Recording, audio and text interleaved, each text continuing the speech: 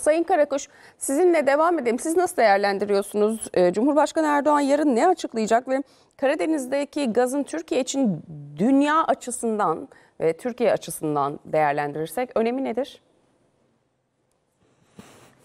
Şimdi ben müsaadenizle bir haritadan izah edeyim. Sonra bir iki Peki. konu daha var. Yani benim kafamda Sayın Cumhurbaşkanı'nın açıklayacağı. Bir tanesi e, 3000 kilometre gidecek olan füzenin e, yapılmış olduğu, var olduğu. 3000 kilometreye giden füze. Yani 561 değil. 3000 kilometreye giden füzenin varlığı açıklanacak diye düşünüyorum. İkincisi Hürjet açıklanacak. Hürjet hangardan çıkacak ve 18 Mart 2023'te uçacak. Yani bu uçak ne uçağı? Milli Muharip Uçak'tan önce eğitim uçağı. Yani bugün e, T-38 uçaklarıyla eğitim yapılıyor jet uçağı olarak. E, onun yerini Hürjet alacak. Aynı zamanda yakın destek uçağı olacak. Yani yakın destek uçağı ne demek?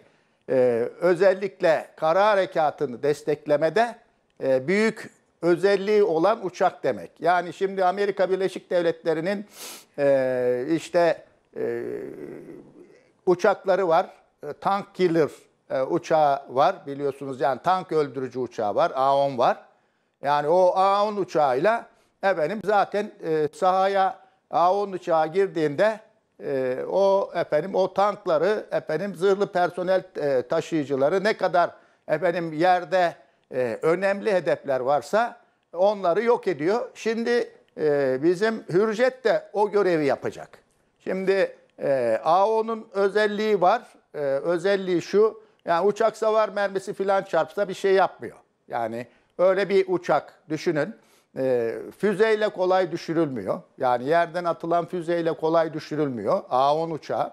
Şimdi Hürjet e, yani Amerikalıların A-10'u varsa Türkiye'nin de Hürjet'i olacak. Hürjet'i olacak. Dediğim gibi özellikle kara birliklerini desteklemesinde esas bir güç haline gelecek. Şimdi 3000 kilometrelik füzeyi de söyledim. Buraya geliyorum.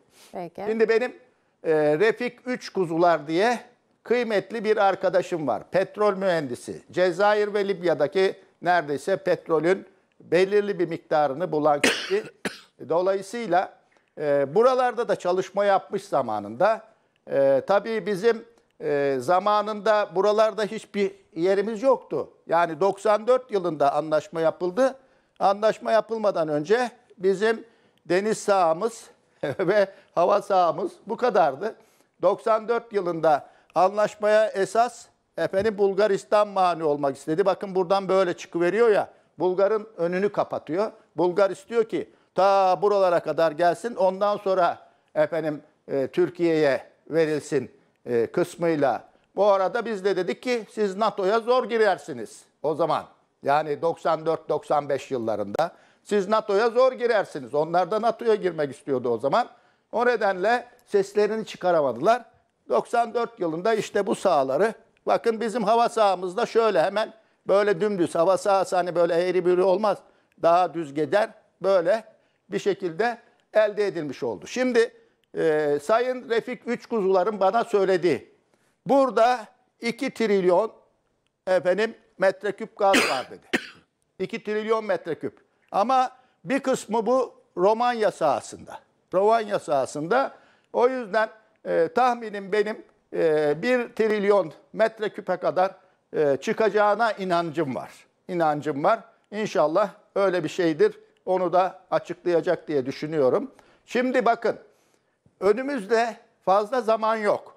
Yani petrol ve gazla ilgili eğer petrol ve gazdan e, karbondioksit nedeni olan bir durum yaratmadan ondan yararlanma şeklinde bir ortam yaratılabilirse teknolojide ona bir şey demem. Ama 20-30 yıl sonra e, dünyada zaten petrolle gaz e, yasaklanma noktasına gelecek. Yani dünyanın küresel ısınması iklim değişikliği nedeniyle.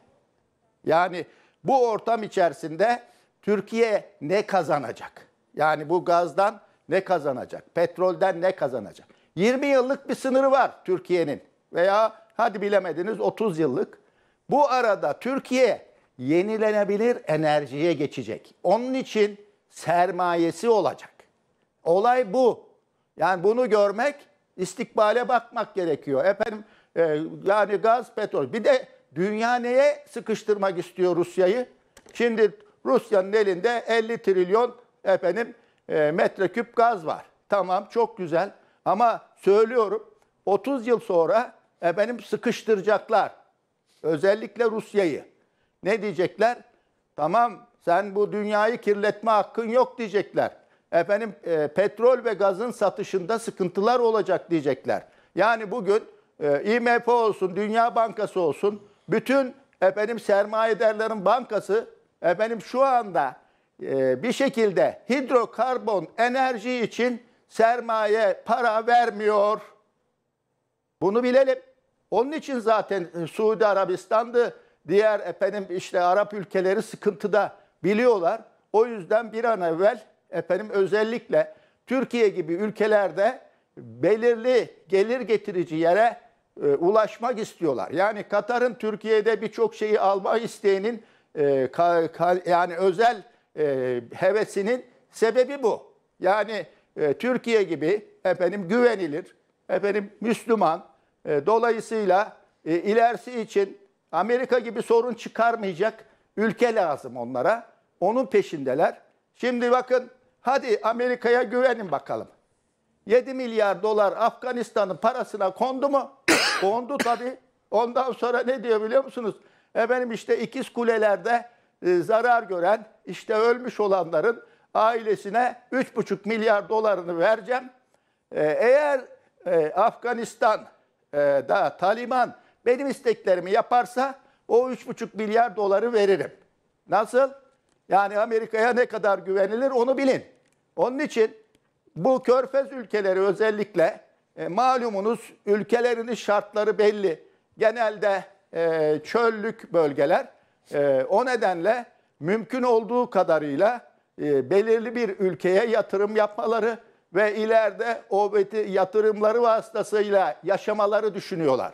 Benim gördüğüm bu. Yani e, sadece petrol ve gazla ilgili de e, bizim yapmamız gereken şey yenilenebilir enerjiye sermaye bulmamız.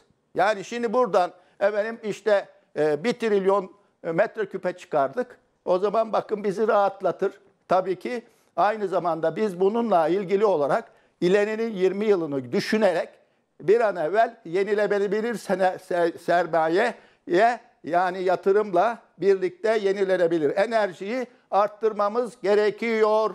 Yaşam bu. 30 yıl sonraki dünya bu. Benim görüşüm bu.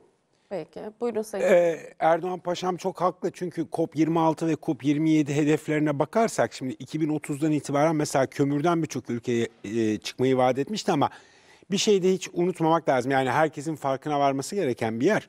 Ee, şimdi Amerika Birleşik Devletleri bütün dünyaya kaya gazı özellikle Avrupa'ya durmadan gemilerle kaya gazı yolluyor. Kaya gazı çıkarılırken çevreye o kadar büyük zarar verir ki hani şimdi kömür hep böyle e, tukaka ilan edilir, kötü ilan edilir. Esas en büyük dert kaya gazıdır. Yeraltı sularını da çok kirletir ve şu anda Amerika bunu müthiş derecede yapıyor. E, yeri gelmişken bunu da söylemek lazım ama doğrudur. E, COP26 ve COP27 hedeflerine bakarsak e, dünyada fosil yakıt kullanımı e, 2050'den sonra hiç mümkün olmayacak. 2030'dan sonra da peyderpey ülkeler bunu azaltıyor. Bunu da aklımızda tutmak lazım.